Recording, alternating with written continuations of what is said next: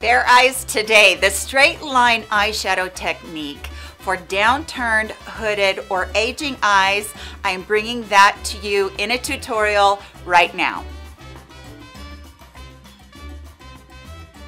Hello friends, I'm so happy that you're here with me today because I am going to be sharing with you what is called the straight line eyeshadow technique. This is by no means a new technique and it is by no means my technique. This is something that I learned a long time ago from Wayne Goss. I think he may have put this video out more than five years ago. But I have been using it often and I have incorporated it a little bit into other videos that I've shown with you before but I wanted to really deep dive into it and get a tutorial so that you can see. Now what is interesting about it and what is really great about it for a mature woman or someone with hooded eyes is this right here, all of this lid right here, this space, this is the space that we, it'll either sag down as we age or you already might have hooded eyes. I don't really have hooded eyes too much, but I sure have the sagging right here. And I also have this downturn where I have a little flap right there on the edge.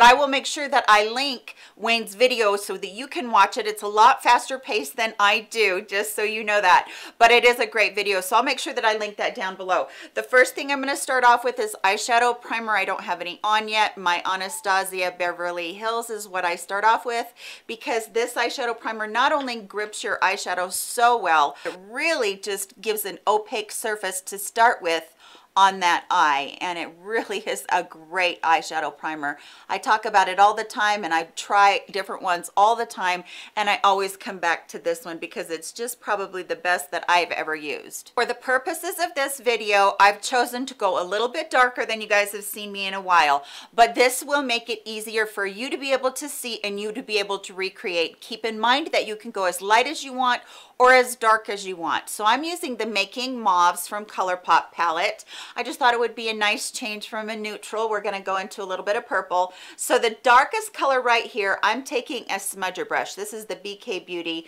smudger brush. And what we're gonna start with, and this is how Wayne does this as well, we're gonna start with the bottom lash line and making like a template where we're going to actually put that. So you're going to start in that corner of your eye and before I get started I do have a palsy in my hands that makes me shake. I do apologize if that makes anybody nervous. I just shake. So that is nothing that I can really control. So I'm starting out here. Wayne goes clear across the eye.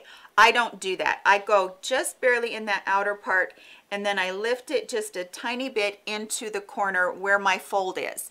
And I will do that on both eyes. For quite some time I haven't used the tape. I used to use this constantly, but this works best if you have a template.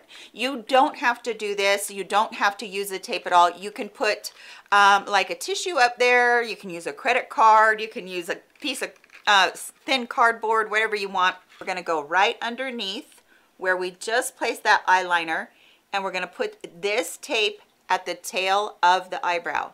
So my eyebrows are already done and we're just making a template for where we're going to be sticking the next eyeshadow. And again, on this eye, you might be able to see a little bit better right underneath where I just put the tape and then right out to the tail of the eyebrow. Okay, open your eye up all the way and just look straight ahead. And right above your pupil is where you want that line to start exactly above the pupil. So that's where the eyeshadow is going to start. And then you're going to take it in a straight line instead of going curved at all because if you curve, you're going to pull it down and you don't want to do that. If uh, Wayne talks about if anything, pull it up. But we're going to just try to make it as straight as we possibly can. I'm going to go into the medium mauve that's in here. And like I said, I would normally do this a little bit lighter, but we're doing it a little bit darker at the center of my eye and then I'm going to just very gently in a straight line pull my eyeshadow all the way out to the tail. You can use a more precision brush if you feel like you need it. That's fine too. Then take what's on your brush and fill that in. Like so. Very easy, not a big deal. Now you can raise your eyebrows a little bit and go into this outer part of your eye if you want to. but we have just created our straight line, which you'll see very starkly when I take off that tape. All right, same thing on this other eye. Start, open your eye up straight ahead. I'm trying not to get my mirror in, in camera view, but it's really hard. Open your eye up, start right at the top of your pupil and go straight out.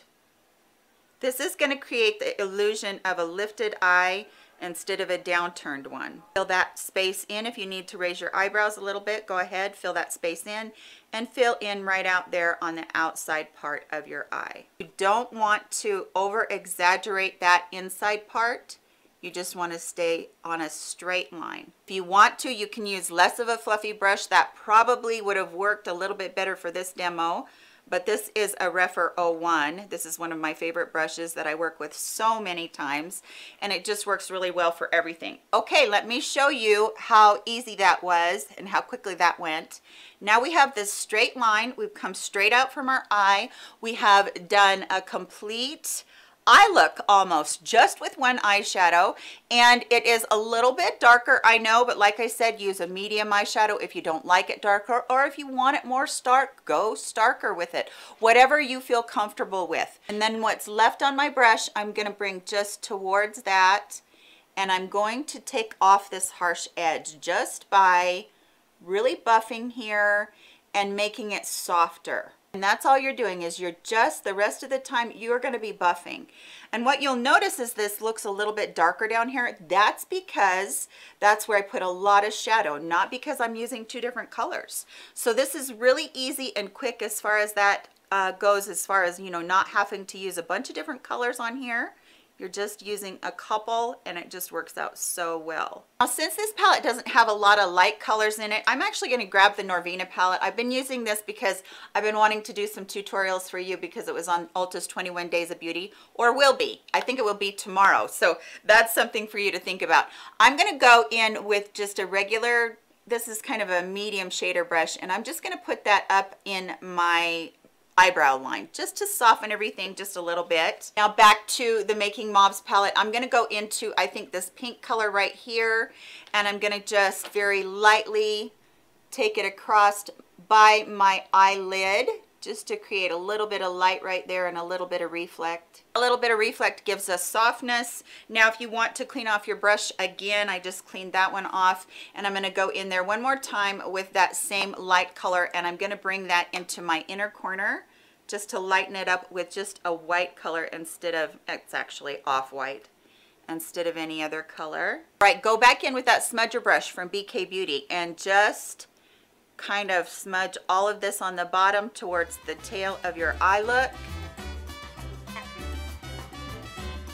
Have any residuals from taking the tape off, you can take some concealer and put it in there. And then I'm gonna go in with some eyeliner. I like my liquid eyeliner. As most of you know, it just works really well for me. One of the things I talk about quite often in my tutorials is that when I do put my eyeliner on to tight line my upper lashes, it is so that they look a little bit thicker and I stay as tight as I possibly can.